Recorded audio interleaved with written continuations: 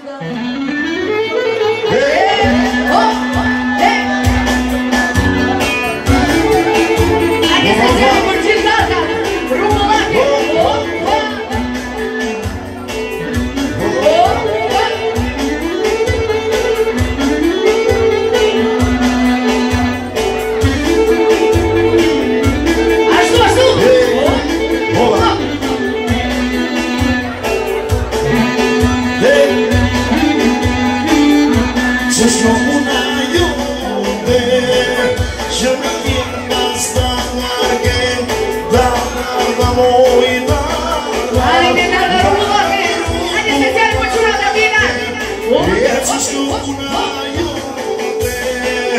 Shiva, Shiva, Shiva, Shiva, Shiva, Shiva, Shiva, Shiva, Shiva,